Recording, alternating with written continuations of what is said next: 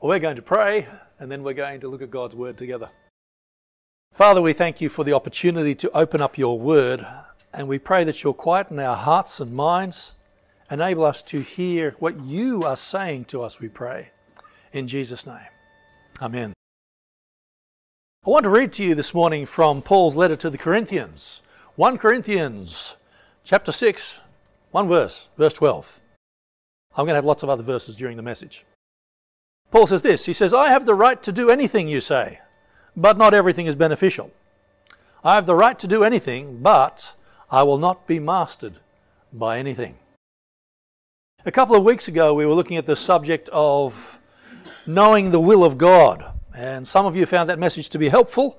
Others still had questions about knowing what God's will was for your lives and how to respond in certain situations. So today I'm going to give you a follow up message. But first of all, I want to tell you a story. When I was studying for my uh, first degree in business admin, uh, we had to do a trading exercise in uh, a couple of the classes. And our lecturer told us what the general idea of the exercise was. And we uh, formed teams representing different areas of business. There were the manufacturers and the miners, and some were the government. And uh, my team got to be the Reserve Bank. I appointed myself governor of the Reserve Bank. And uh, we were to explain to the rest of the, the, the, the, class you know, what the trading rules were and how the money system worked. And our money was basically different coloured discs. And I said, okay, the red disc is the most valuable one, the blue disc is the least valuable one, and there's different values for the other colours that were in between. And so we went through the whole exercise and we were trading with one another. And at the end of the exercise, I called time on the whole thing. And I suggested to everyone, all the different manufacturing groups, it's time for you to count your discs. And one group was overjoyed because they had a stack of blue discs, or red discs rather. And so they thought, okay, we are the winners of this trading exercise. As governor of the Reserve Bank, I stood up and devalued all the currencies. Made the blue discs the valuable ones, and guess whose desk they were on? Mine. Everyone was disgusted. The lecturer was even disgusted with me. Yeah? But there was no rule against what I'd done. It certainly violated the rules of fair play. I guess that was true. But there are a lot of Christians who, who wish that the Bible contained specific rules governing every possible situation in life. Then they think, okay, then we would know what we should do in every situation. They know what they could do, they know what they could not do a book like that would be really big. I mean, I get enough hassles trying to get you guys to read the Bible as it is, eh? A book like that would be volumes and volumes and volumes, and you still wouldn't get to the end of the whole thing. God has, however, given us a book that contains all the principles that we need to be able to live for Him in this world, and that is the Bible. Basic instructions before leaving, leaving earth, yeah? You know that? Okay. So today's reading from 1 Corinthians and all the way through till about uh, chapter 10 of Corinthians, Paul lays out some important principles for the Corinthian believers. Now, you see, he was writing here to a bunch of rather immature believers. He says so in, in 1 Corinthians 3, verse 1. He calls them babes in Christ. He reminds them, like little children, they think that there is a rule for everything. Now, have you ever seen little children at play? Of course, there are rules for everything, and it doesn't take long before someone's yelling, Not fair!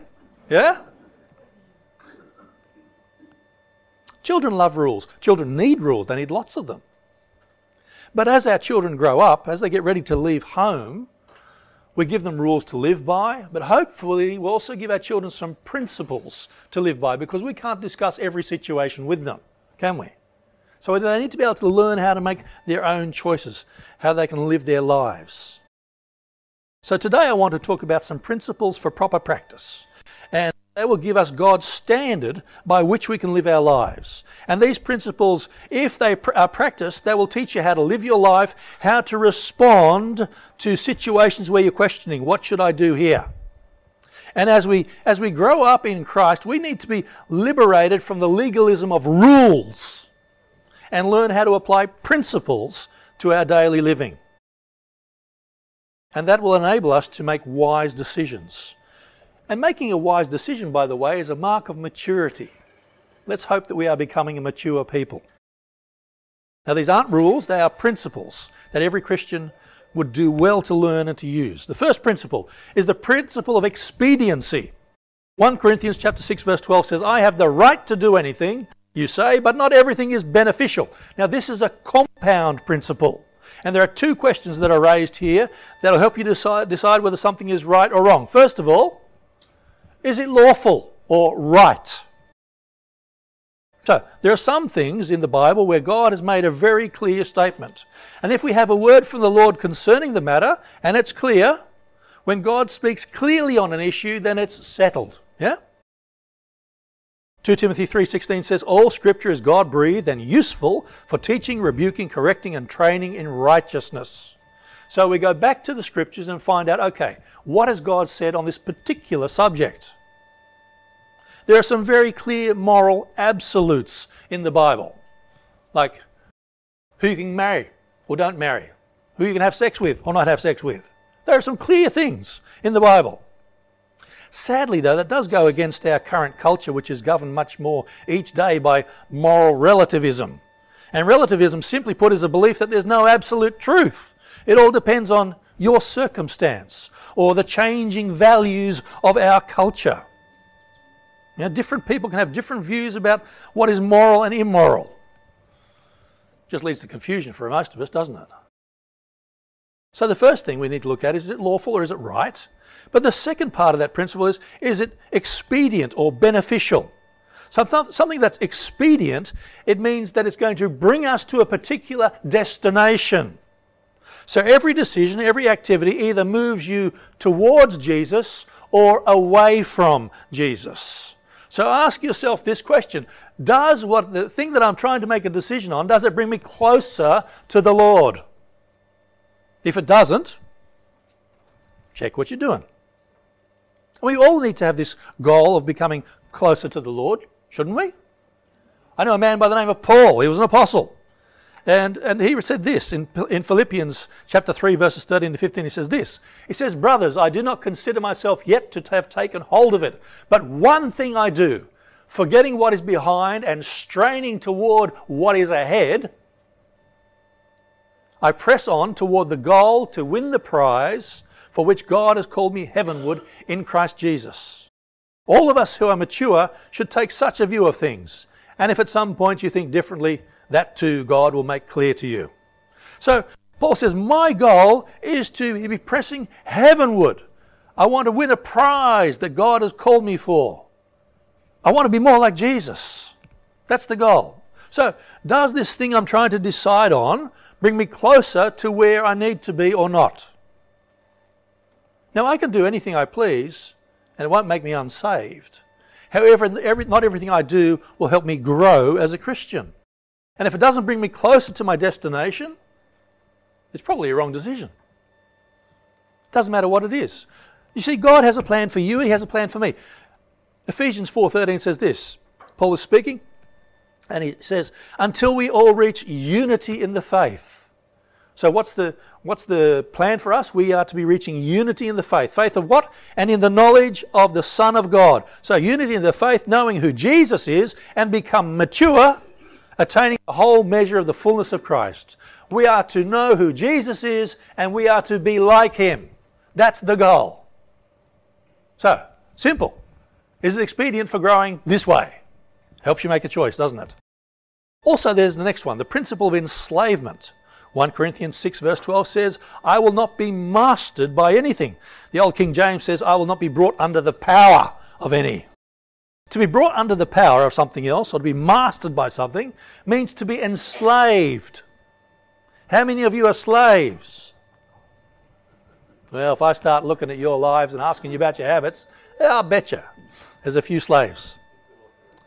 We were all slaves at one time slaves to sin. Ephesians chapter 2 verses 1 to 3 says this, As for you, you were dead in your transgressions and sins, in which you used to live when you followed the ways of this world and of the ruler of the kingdom of the air, the spirit who is now at work in those who are disobedient. All of us also lived among them at one time, gratifying the cravings of our flesh and following its desires and thoughts. Like the rest, we are by nature deserving of wrath. Wow! The ruler of the kingdom of the air, even the air we breathe, has been fouled in some way.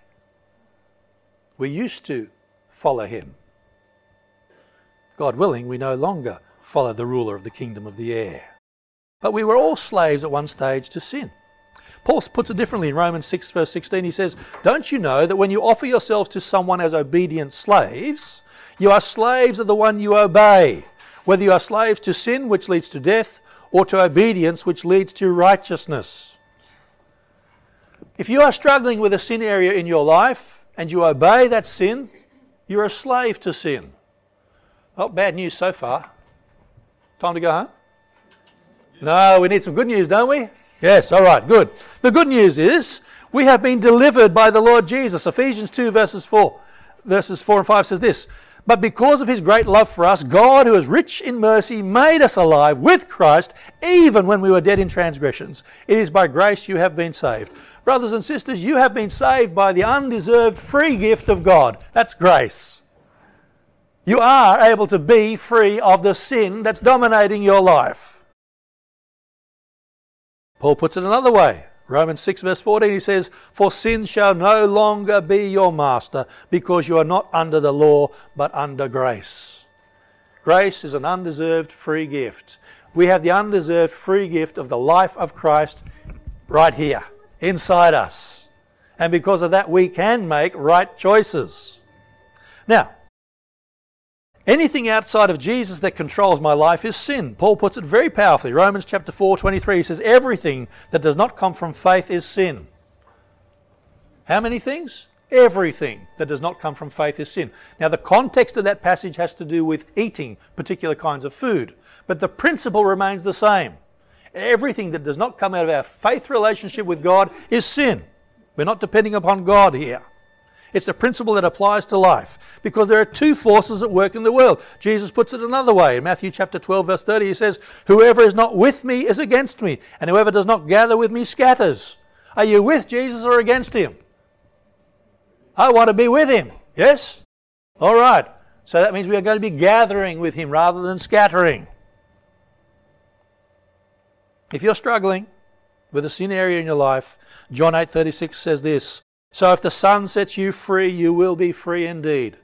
If you're struggling, come to Jesus. Come to Him right now. Put your life in His hand. That situation, the thing that you are struggling with, let Him deal with it. And He will set you free. Brothers and sisters, we need to be searching out our lives to be sure that no habit, no attitude, no activity, no pursuit has us enslaved. If you're enslaved, Come to the one who sets the slaves free. Come to Jesus. Bring it to the cross. Bring it to Him. He'll set you free on the spot. I've seen it happen so often. Let's go along. The third principle is the principle of example. Listen to what Paul says here in, in 1 Corinthians 8, verses 8 to 13. He says, But food does not bring us near to God. We are no worse if we do not eat, and no better if we do. Be careful, however, that the exercise of your rights does not become a stumbling block to the weak. For if someone with a weak conscience sees you, with all your knowledge, eating in an idol's temple, won't that person be emboldened to eat what is sacrificed to idols?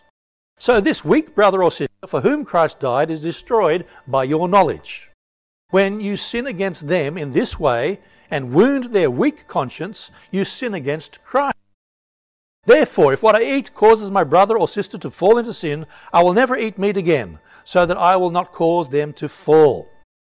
Now, this is not saying, by the way, that we should all be vegetarians. Okay? This is saying, though, be careful about what you are doing. You are setting an example. Particularly this situation in Corinth, Paul was writing to the Corinthians. Corinth was a pagan society, and many who lived there practiced idol worship and they would sacrifice sheep or goats to their, to their gods, and then they would sell the meat to the butcher. And he, in turn, would make that meat available to the public at a price. It's perfectly good meat, and the price was right, so some Christians would buy that meat and eat it. Other Christians, however, felt that God's people shouldn't eat this meat because it had been offered to devils, idols. And so there were these two opposing camps who began to argue bitterly about this issue, and they turned to Paul for help, and he, through the inspiration of the Lord, gave them the principle of example. He didn't give them an ironclad rule, he rather gave them a principle. He said that, look, meat would not make you better or make you worse. However, his advice was this don't do anything that would make you a stumbling block to another believer. So the issue is not whether it will hurt me, the issue is whether, whether it will hurt my brother, whether what I'm doing will hurt you. I need to be thinking about someone else instead of myself here. Because both sides of this argument thought they were right, they possessed insight, but Paul reminds them brotherly love is the main objective. What's the loving thing to do? Am I going to hurt you? Well, if it hurts you, I ought not to be doing it. So you and I, we possess great liberty in the Lord. We can lawfully do many things, but we always need to be mindful of the example we're setting for others. We must never do anything that causes our brother or sister to stumble. Listen to the way Jesus puts it, and this will put the fear of God into you. Watch this. Matthew 18, verse 6, he says, If, if anyone causes one of these little ones, those who believe in me, to stumble, it'd be better for them to have a large millstone hung around their neck and be drowned in the depths of the sea. He took this rather seriously, didn't he? You and I should take it seriously as well. Am I being a good example? The Christian must always be considering his brothers and sisters. Am I a good example to people who are looking at me? Let's move on a little further. The fourth principle is one of edification. 1 Corinthians 10:23 says, Paul says, I have the right to do anything, you say, but not everything is beneficial. I have the right to do anything, but not everything is constructive. Or the old King James says, not everything, not all things edify. To edify, like construct, means to build up. Everything you do, you say, you hear is either building you up or tearing you down. Every conversation, every relationship, every activity must be judged by the same principles. Does this thing make me stronger in the Lord or does it weaken my walk with Jesus? All of our lives should be lived in such a way that it does nothing but build us up in the Lord Jesus. Do the things you are doing make you stronger for Him? If not, maybe it's time to let that thing go. But there's more. There's a principle of exaltation. 1 Corinthians 10:31. So whether you eat or drink, whatever you do, do it all for the glory of the Lord. I had the joy of doing some weeding yesterday in my garden. I thought like, oh man, weeding again. Yeah, it's not that much fun really. But I thought of it, thought, okay, well, I can do it for the glory of the Lord. Lord, thank you that you've given me an opposable digit that works, and the arthritis isn't too bad today. I can actually do this, and I can pull weeds. And so I was, got to spend some time praising God. And as I was doing that, he said to me, How about the weeds in your life, Martin? You going to pull some of them? So I spent some time in prayer. okay, Lord, let's do some gardening in here. That's the principle of exaltation. Do it all for the glory of the Lord. Everything we do in life either honors or dishonors God. Every conversation, every habit, every relationship, every business deal, every vacation, every book, every film watched, every bit of music listened to, is it exalting God or is it not? WWJD. What would Jesus do? Learn to ask yourself that question. Or another one is just like it. It says, What would I do if Jesus was with me? Yeah? I was talking to the young people a little earlier about me stealing some biscuits. If mum had been in the room, those biscuits would have been safe because my knuckles would have had a wooden spoon cracked across them. Yeah? So, what if Jesus were with me? I've got news for you, He is. The Bible says this keep your lives free from the love of money and be content with what you have. Because God has, ne- has said, Never will I leave you Never will I forsake you. He's there all the time. What would I do if Jesus were here? What would I do actually if I was aware? How about I make the choice of being aware? He is with me, whatever I'm doing, wherever I'm going, whatever I'm saying. Ah, That being the case, knowing that He's watching and He's paying attention, that He's involved because I'm the temple of the Holy Spirit, let's not sully this temple. That changes the way you make choices, doesn't it? Remember as a Christian, everything you do reflects back on God. It can be positive or it can be negative. Philippians 1:27 says this, "Whatever happens, conduct yourselves in a manner worthy of the gospel of Christ." Then, whether I come and see you or only hear about you in my absence, I will know that you stand firm in one spirit, striving together as one for the f- faith of the gospel. Does your life exalt God in the eyes of the world? A very important principle exaltation. It helps me make right decisions and good choices. The final one I want to talk about that Paul mentions is the principle of evangelism. 1 Corinthians 10, verses 30, 32 to 33 says this He says, Do not cause anyone to stumble, whether Jews, Greeks, or the church of God. Even as I tried to please everyone in every way, for I am seeking my own good, not my own good, but the good of many, so that they may be what? Saved. That's interesting. Paul's desire was he didn't want anyone to be turned off God and off the gospel by his lifestyle. So he strove to be inoffensive and to be an open book in his walk with the Lord. Now, I know that the gospel is offensive to those who are perishing. I'm aware of that. But my lifestyle needs to be reflecting Jesus in everything I do and say. So that the opportunity, when it comes, I won't be a stumbling block to anybody. People are watching you. Does your life move people toward God or away from Him? Lifestyle does matter. Often, what you do speaks so loud that I can't hear what you're saying. Yeah? Who wants to be called a hypocrite? not me. I want to try and live my life in line with what the Lord wants because people are watching. So we should strive to, to reach everyone we come into contact with for Jesus. Now, I don't mean preaching the gospel all day long. You can't be doing that in every single circumstance. But I can have such a lifestyle that when people see me, they go like, wow, what's that bloke got? Why is he different? Why does he make good choices? Paul puts it this way 2 Corinthians 3, verse 2, he says, You yourselves are our letter, written on our hearts, known and read by everyone. If I were to put myself in Paul's shoes, I'd say to you, brothers and sisters, you are my letter that I'm writing. And everyone, everything that you do reflects on me as the pastor of this congregation. Just the same way that Paul said that about the people that he was writing to. You are known and read by everyone. Are you a living witness for God? I need to be. You need to be. I've given you six principles. Is it expedient or beneficial? Is it enslaving? Is it a good example? Does it build others up? Does it exalt God? And does it lead others to Jesus? I summarize it by is it loving? That's a lot easier to remember, isn't it? But go back over this message. When John puts it up on YouTube, listen to it again. Write down the points. Think about these things. Think about your life.